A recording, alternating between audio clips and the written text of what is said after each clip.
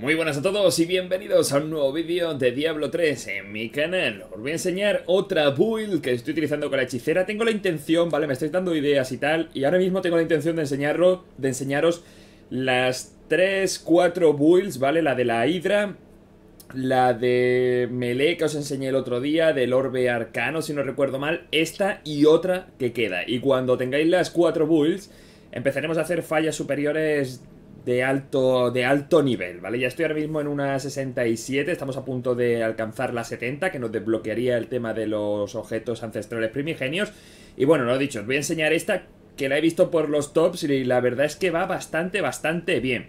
El equipo es básicamente el mismo que el de la Hydra, ¿de acuerdo? Tengo este objeto que lo tenía para otra build que veréis en el día de mañana, lo que pasa es que es el arma ahora mismo que más daño tiene, si no recuerdo mal de todo el equipo, si no me la cambiaré, ¿vale? No hagáis caso, este arma no está puesta aquí por nada, ¿vale? Simplemente la utilizo en otra build, ¿vale? Pero en esta no, porque no tengo el teleport, básicamente. Las pasivas del cubo de Kanai son las que estáis viendo aquí, ¿vale? El tema del fuego estelar, el Swami, que era el casco que me hacía falta, y luego el anillo de grandeza real. Luego, tenemos que llevar el bonus de 6 de 6 del Tal Rasha y luego el bonus de 4 del conjunto de Vir. Gemas legendarias, pues llevo la piedra de la venganza de Zei, llevo también la piedra del azote de los apresados y la piedra de Gogok de presteza. Aparte de esto, eh, este este cinturón que va muy muy muy bien, ¿vale? Es muy recomendable para prácticamente todas las builds que vamos a ver que lleven el tema del arconte, ¿vale? Porque hace que automáticamente empecemos con 45 marcas, entonces nos aumenta mucho el DPS y encima luego esto hace que durante 20 segundos tenemos todas las marcas acumuladas con el arconte fuera de esta vida, por lo tanto hacemos un daño bestial. Y luego tenemos los brazales estos que son específicos para esta build, que lo que hace es que el torbellino de energía arrastra periódicamente a su interior a enemigos, eh, a enemigos inferiores, no élites, en un radio de 30 metros. Como no tenemos el tema del teleport, ¿vale? Pues vamos un poco jodidos a la hora de quitear. Pero entre el agujero negro y este ciclón, este torbellino que lleva a los enemigos a su centro, pues lo vamos a tener bastante, bastante bien. Además es una build que carga muy, muy, muy, muy rápido el tema del arconte. Por cierto, no os he enseñado los anillos, pero vale, uno de los anillos es el obsidiana del zodiaco y el otro, por supuesto, la curación de manal. Por aquí os dejo las habilidades y pasivas, ráfaga arcana con descarga estáctica, eh, agujero negro con robo de hechizo, arconte con inflamación, arma mágica con desvío, armadura de energía con armadura de fuerza, torbellino energía con viento mistral y luego parálisis, evocación, anomalía volátil y ansia de poder. Eso básicamente son los talentos. Vamos a echar un vistazo a una falla 50. Acordaros lo que tardamos el otro día porque si no nos sale demasiado bien vais a flipar. Pues vamos a darle caña. Comentaros, ¿vale? De que no tengo mucho vicio todavía a esta build. Porque para mí es, es nueva, ¿vale? Es básicamente es una build nueva para mí. Que la estoy utilizando ahora. He jugado una falla solamente para ver un poco cómo funcionaba en el tema de fallitas de nivel 40 y tal. La tengo que probar a más alto, tranquilidad, ya la, ya iré probando. Ahora mismo lo que quiero es presentaros un poco las... Bueno, pues las builds que, con las que he jugado. Esta todavía no puedo decir que sea la más cómoda. La más cómoda... Esta hace mucho daño, ¿vale? Hace muchísimo daño. Hace una maldita barbaridad de daño. Hace una barbaridad de daño. Cuando no tienes el arconte y cuando tienes el arconte hace también una bestialidad.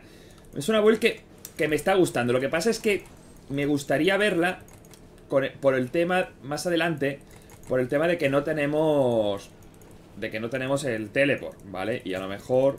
A ver, como veis esto el rato, limpiar, que haces un huevo de daño con la, con la habilidad esta que tengo en el clic izquierdo.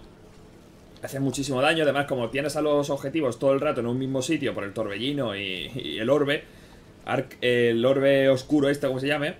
Ya no me acuerdo de cómo se llama. Pues resulta que te. que es que haces un destrozo. Es que haces un maldito destrozo. Estás pegando. Porque eh, estás pegando todo el rato. básicamente porque hay una build, ¿vale? Que la enseñaré mañana. Que hace mucho daño con el arconte. Tiene mucha movilidad. Pero cuando está fuera del, del arconte no pega tanto. Como que le falta un poco de daño fuera de arconte. Pero bueno, supongo que son pros y contras. Hay que bueno, pues te dan y te quitan dependiendo de la, de la build que estemos llevando.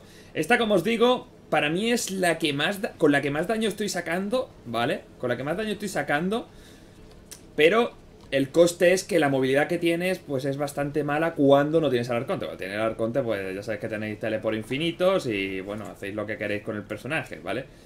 Pero cuando no, pues está a lo mejor un poco más. un poco más vendido. Pero claro, es que.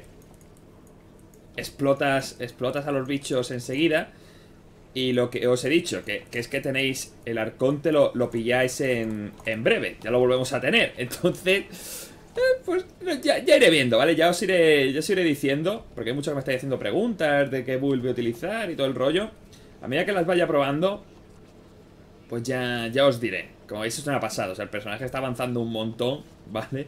Llevamos tres días de season, llevamos 467. Le estamos metiendo mucha, mucha, mucha, mucha caña. Ahí está, 468. Para ser más exactos. Mira, aquí tenemos uno de protección, esto nos va a venir bien. Va a venir bien porque vamos a poder hacer lo que nos dé la gana.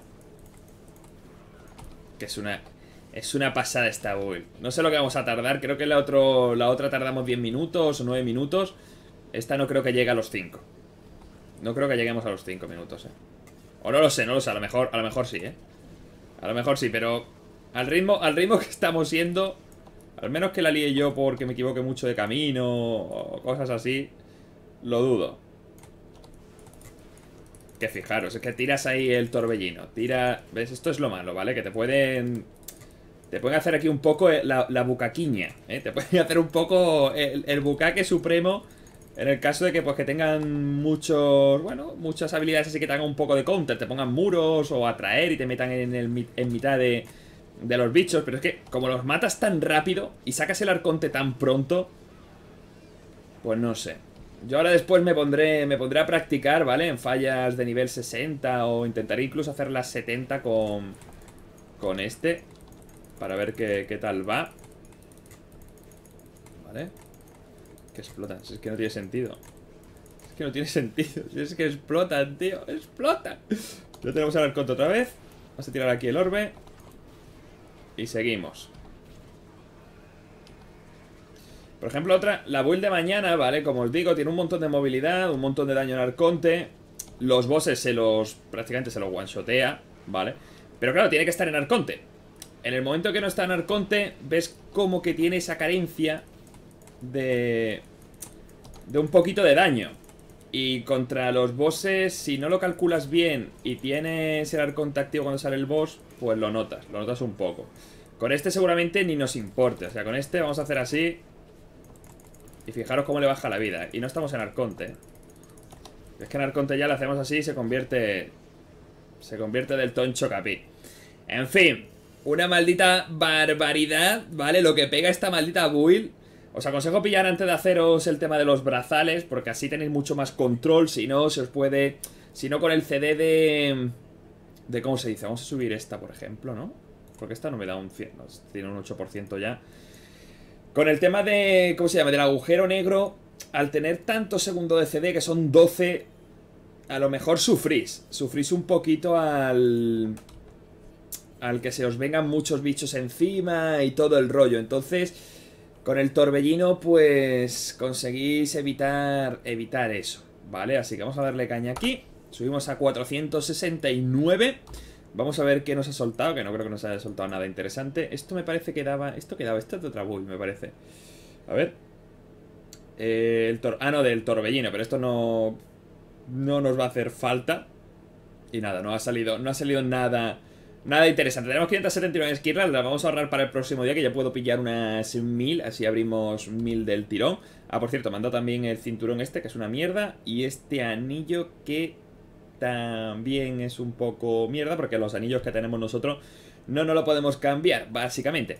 Así que nada, espero que os haya gustado os haya gustado la build esta. Lo hemos hecho en 5.50. Ha habido un run que el primero que he practicado que ha salido en 4.20, pero claro, porque me han salido me ha salido el electrificar y me ha salido el protector, y en fin, ha sido una locura, pero se hacen, se hacen bastante, bastante rápido. Por cierto, no, en 5 minutos no. Esto ha sido uno de la hermandad. ¿En cuánto lo hemos hecho nosotros? Que ahora, que ahora no lo veo. Vale, perdona, creo que lo hemos hecho en 4.45. Así que sí, hemos estado dentro de esos 15 minutos que había leído aquí esto rápido y era de un compañero de la hermandad que había hecho una nivel 27.